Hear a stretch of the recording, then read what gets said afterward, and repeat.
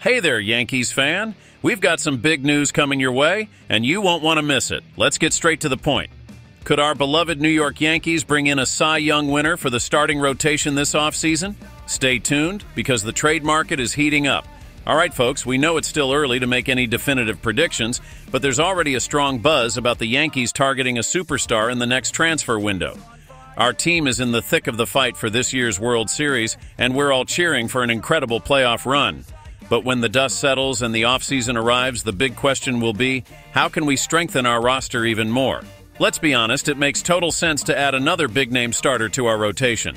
The good news is that there will be some major names available on the market. Now, just imagine. The focus might be on bringing in a talent like Juan Soto to boost our offense, but if that happens, there might not be much room left in the budget for other big signings. And that's where our potential play comes in. We've got our eyes on Shane Bieber, the star pitcher from the Cleveland Guardians and former Cy Young winner. Bieber underwent Tommy John surgery in April, which could make him available for a much lower price than expected. According to Jeff Passan of ESPN, Bieber's future heavily depends on how his recovery goes. There's a chance he could accept a short term deal, one or two years, which would be a great move for us. Now, if Bieber manages to get back on the mound by early 2025, he could be the missing piece to complete our rotation puzzle, offering high level talent at a bargain price. Is that a smart play or what?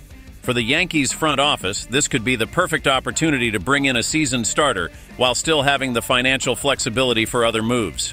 So, fans, here's a tip.